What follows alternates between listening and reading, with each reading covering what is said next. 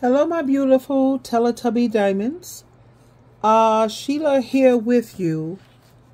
And I want to talk about, or better yet, I want your viewpoint. Do you feel that we are living in a world and a society that is creating savages? I'm going to share a few clips with you. And afterwards, I, I am very interested in your take on it and your viewpoint.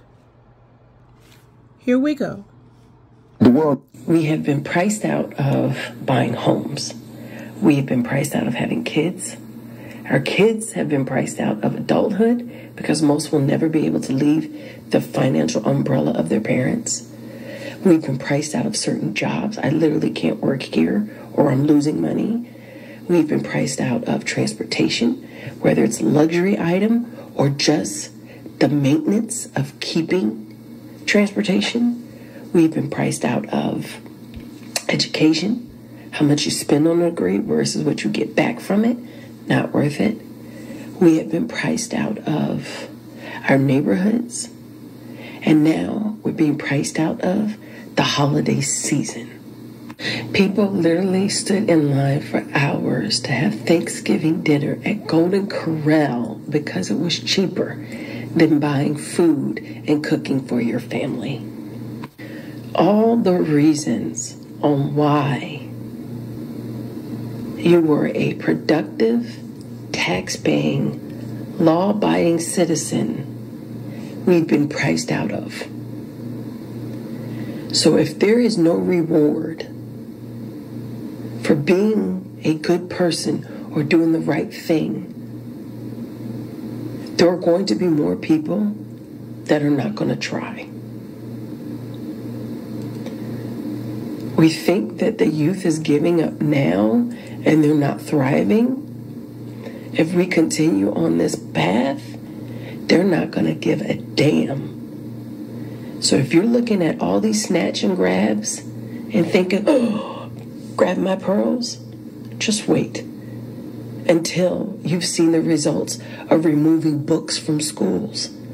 You think we're being priced out of Black Friday, but we're actually being priced out of civility because those sales, those new trinkets, those new items, those wants, those upgrades were the things that people thrive for and held on to on why they got up and went to work and did the things that they did. And if all of it's being taken away, you are now pricing us out of sanity and civility.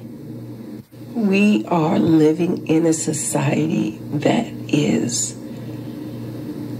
creating savages because there's no reason to do right. And the only way I can get anything is if I take it. You're either going to eat or be eaten. And it's starting with this holiday season in 2023. You've priced people out of holiday joy this is not going to end well. The world is harsh. And I just don't got no beautiful stories. You know what I'm saying? I'm gonna just be getting them ready.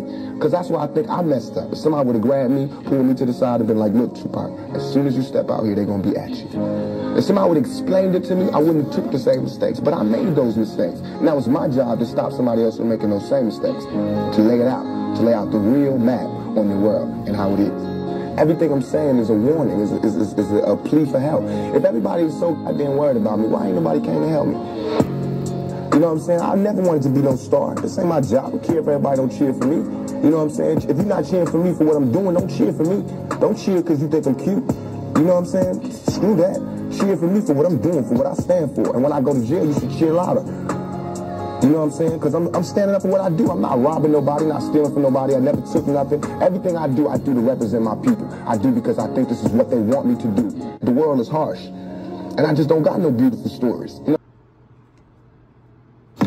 Sorry, if you only want to work four hours, it's going to be harder for you to get a Shut the fuck up. Stop. Sorry. If you only want to work four hours, it's going to be harder for you to get a house. We oh, Jesus Christ. First and foremost, Whoopi Goldberg, shut the fuck up. Stop speaking. You have been rich for the last 40 years. You don't get to hop on TV and speak on anybody's lifestyle at all. Shut up. I am so sick of boomers and older people and everybody in that category calling Gen Z and millennials lazy, like we're just some generation of people that don't want to work. We just want everything handed to us. We're just super entitled. Cut the bullshit. Stop the cap. That five, six hundred, seven hundred dollar apartment that you had when you were in your twenties, that apartment that you could afford and still save money to buy a house one day, that house that was 30, 40, 50,000 dollars when you were little, triple that shit. Quadruple that shit. That's what we're paying nowadays. With with wages that don't match the increase in pricing. Let's talk about that. The wages, they don't match the increase in pricing at all. So I don't want to hear y'all say we're lazy and we're entitled. Motherfucker, we are working. Most of the people I know are working 40 plus hours a week, 50 plus hours. Some are working 60 plus hours a week. And then when they get their paycheck for their hard work, they pay their bills and then they hope for the best until their next paycheck. So don't look at us like we're fucking lazy and crazy because we're pissed off about the state of the economy, the housing market, groceries, everything like that. A friend of mine just told me she went to Chili's, fucking Chili's last night. Two drinks, two meals, and dessert, a hundred plus dollars for a fucking dinner at a restaurant. I used to go to Applebee's when I was little. It was like 30 $40 for my whole family.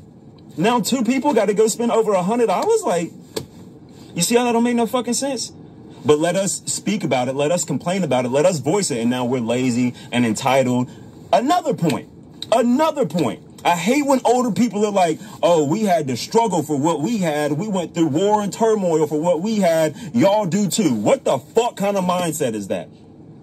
What the fuck kind of mindset is that? That's like having kids and being like, oh, I struggled and went hungry when I was young, so you will too. You see how that doesn't make any fucking sense? This is not millennials and Gen Z and young people complaining or being entitled or just wanting things handed to us. This is us saying, hey, we are working our asses off every day of the fucking week. And when we get a return on our efforts, it's minimal. It's bullshit. It's crumbs. And we have the fucking right to voice it and it's exhausting. It's fucking exhausting. I sound like a broken record because I've spoken on this so many times and nothing changes. We are hardworking, law-abiding citizens, and owning a home is like a pipe dream for us nowadays. Why do we go look at two bedrooms apartments and the lowest price we see is $2,000, $2,100? Sometimes, most of the time, drastically more than that. I don't want to hear from y'all anymore. I don't want to hear that we're lazy and entitled bullshit anymore. The guy whose video I'm stitching, he did a beautiful job of portraying and showing how it's fucking increased. That 10, 15% of your income that went towards your housing alone, and then you had that 80, 85% of your income still in your pocket for other shit.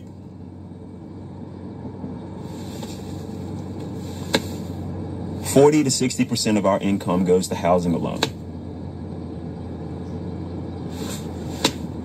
Do you think that the increase in people promoting mental health and going to therapy and shit like that is just for shits and giggles. People are fucking depressed. People are fucking struggling. Let me ask you all this. How many of y'all didn't buy the Christmas gifts you wanted to this year? If any. How many of y'all have a light Christmas tree this year, but last year or a few years back you never did? It's not a fucking coincidence. A lot of people are struggling, and even worse, a lot of people are faking it. Speak out. Speak up. It's gonna stay the same unless y'all open your fucking mouth and speak out against it. As long as we say, oh, that's life, it's going to keep on being life. I can go on for fucking 25 minutes about this shit, but in summary, Whoopi Goldberg, shut the fuck up. Shut your mouth. Along with every other boomer that thinks we're just out here with our hands out waiting for a fucking mansion. We're not. We just want to put food on the table and have a home over our head and then still have money in our pockets. I don't know. Maybe go to the fucking movies. I don't know, maybe spend our money on shit we want to spend it on for once. Is that so surprising to y'all? Y'all are fucking pissing me off with. Sorry. If now, as you can uh, clearly hear and see, people are starting to become very discouraged and they're starting to worry and they are filled with so much stress and anxiety. And it seems like there's no solution, there's no light at the end of the tunnel. You know, a lot of people are saying that capitalism no longer needs the consumer to participate. They only care about the billionaire class. Another person here says, We've also been priced out of pets. what? Okay, my dog got sick recently, and the vet bill was $10,000. Oh my God, I know how I feel about royalty. But if phase push came to 10000 Roy, would I pay it? You know what? I would. If Yeah, I would. I would, because I remember how much money I was willing to pay for Oreo. But there was nothing they could do for my uh, first cat, Oreo. You know, and if I had the money, yes, I'm in a minute, in a heartbeat, because they these uh, beautiful fur babies are excellent companions. They make for stress-free companionship. Another person says the United States they tax their citizens to poverty. And this woman here, poor Maria, she said, My family had to cancel Christmas. No food, no get together, no presents, nothing. Just another day in America. And you, like I, I, I um was listening to this person say how the youth they're starting to give up, they're starting not to care. So when you see the snatch and uh, what is that they said? Snatch and grab.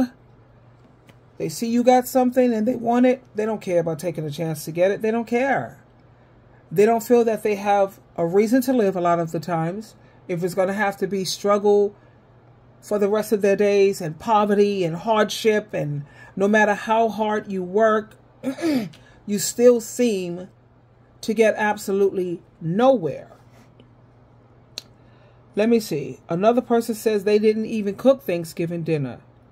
And they worked a 12 hour shift, came home, they prayed and thanked God for everything that they already have. That's a beautiful thing. Another person I had to cancel Christmas. What? Wow, this is this is really really totally out of hand. You know, we are in a new year, 2024, which I told you I'm very happy. I love making it. Uh, new Year's is one of my favorite holidays. And Thanksgiving, which I had a feast on Thanksgiving. Thank you, Yahweh Jehovah, through your son Jesus, at my bestie's uh, house, and it was amazing. And we are fortunate like that to have each other and the family was full. Everybody's partying, dancing. Christmas was awesome. I got several, uh, received several gifts. I forgot to go to a person's house. They told me to come by today. Uh, they had something they wanted me to give me. They wanted me to come by. Um, I forgot. I got to remember this tomorrow. You know, another person says, I'll never have a home and I'll probably never get a chance to retire. Now, I work with the legislature, and there are people who are working in their 70s, you know?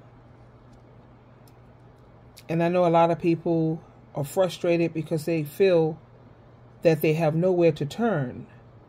And the last thing they want to hear, turn to God, turn to Christ.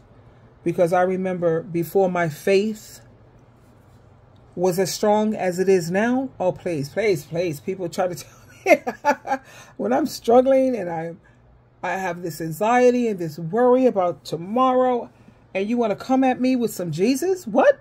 I hope I don't sound, uh, you know, like an antichrist or something. No. However, I kept praying and praying for Jehovah to increase my faith and make my faith so strong that it can move mountains. I want my faith to be so strong that it could part the Red Sea. Please, Father. And I kept on asking and asking. Like the Bible says, keep on asking. Keep on knocking. Keep on crying out. And keep knocking, the door will be open. Guess what happened? The doors just fell right open.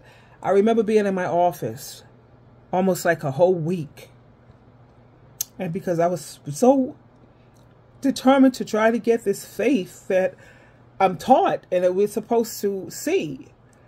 And the reason why it was so hard for me to develop this kind of faith and trust is because for number one, it was too easy. It was way too easy. That's all I have to do, you mean? And you know how we are taught to be very skeptical. Anything that seems too good usually is a scam. So I kept praying and I kept praying. And then I also keep in mind how I've never in my life ever experienced a man who I could rely on, who didn't let me down, who wasn't abusive. And, you know, in the Bible, Jehovah is known as our Father. We say the our Father, that's a man. Jesus came to the earth, that's a man. So for me to put trust in men, what? That, another thing, what? That was difficult. That was just, mm-mm. I can't do it. I can't, and I was, I was reluctant because I, I, I, I didn't want to be hurt. I didn't want to be let down. But the Bible also says, if you have faith just the size of a mustard seed, I will I would add, give you what you need. I got you. So then, of course, I did my research on the mustard seed, the size of a mustard seed. It's one of the smallest seeds. Jesus is saying, if you can trust me, please, just a little. You don't have to have a big, strong faith, just a little. And I promise you, you won't be disappointed. So by means of the Holy Spirit, I got that that faith. I think it was a little bigger than a mustard seed. And guess what? My whole life turned around. I was I was I was shaking my head back and forth. It's so unbelievable. And I don't want to try to gas people's head up or make everything seem it's just that easy. Guess what? It is. It is just that easy. And that's why people are so reluctant to do this. And many people say, well, I prayed to God, I prayed to Christ. But did you trust him? Or were you like unsure?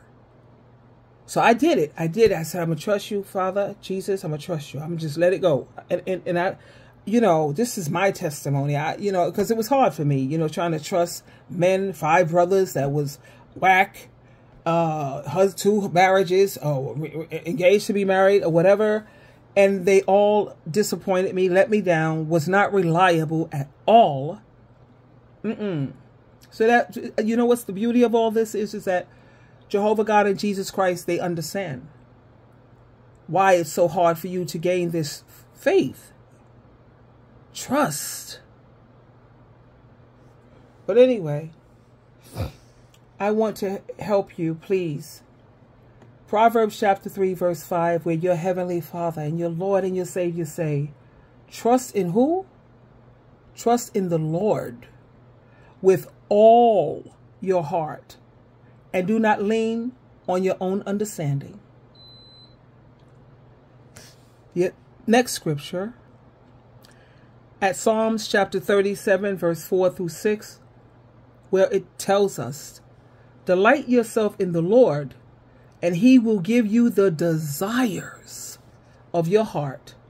Commit your way to the Lord, trust in him, and he will act. He will bring forth your righteousness as the light and your justice as the noonday. Proverbs chapter 3, verse 6, it says, In all your ways, acknowledge him. Do you know what it means to acknowledge him?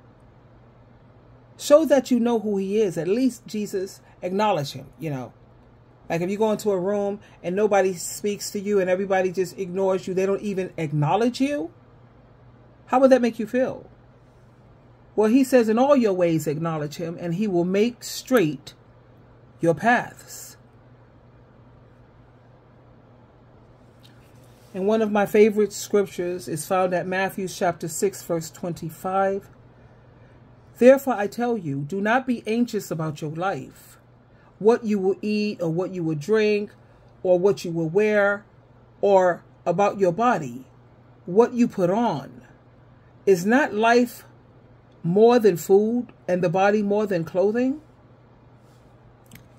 And then it goes up. Read the whole chapter of Matthew chapter 6, uh, Matthew's chapter 6. I love the way it just goes into more detail of look at the lilies of the field. See how beautifully they are designed and how beautifully they are dressed.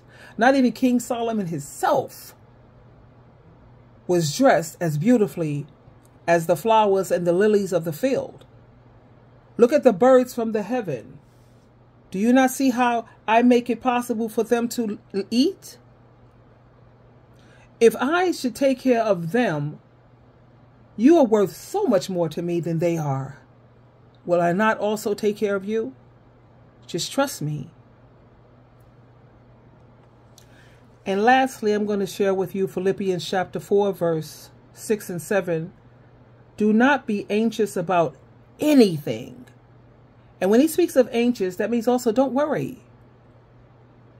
But in everything, here you go, by prayer and supplication with thanksgiving, let your requests, let your requests be made known to your Lord and Savior, to Jehovah God and your Lord and Savior. Just let it be known. And the peace of God will, will surpass all understanding, will guard your hearts and your minds in Christ Jesus.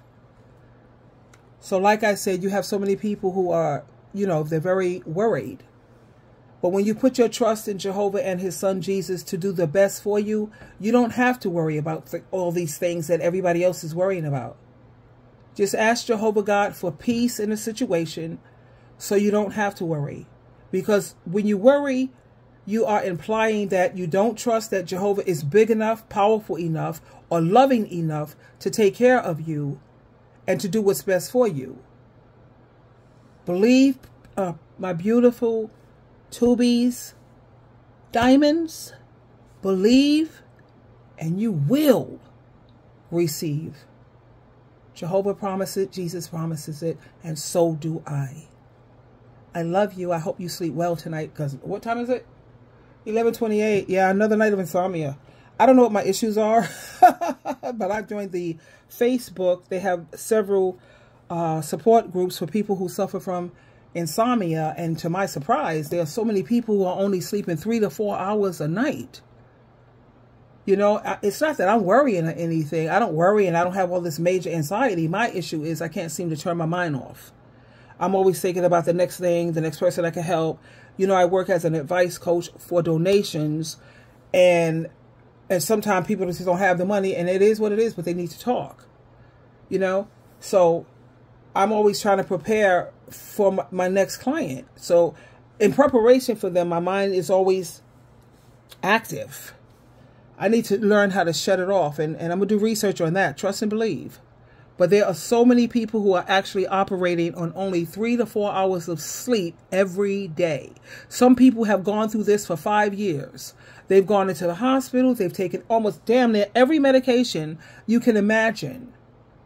And they can't sleep. I don't get all of this. Or it's like every night, let's say if I go to bed at 8, 9, I try to be to sleep by 11. I try. I get in the bed at 9, depending on how much work, you know, I because the legislation is back in. So, uh, yeah, it's, it's in full effect. So that that's going to be a busy time, you know, but I don't care what time I go to bed. I wake up at 3 o'clock. So I did research on that, and, and it says that so many people around the world is waking up at 3 o'clock. And that's okay. But the problem is trying to get back to sleep. But you know what? Do you think Sheila TrueLove worries about that? Not at all.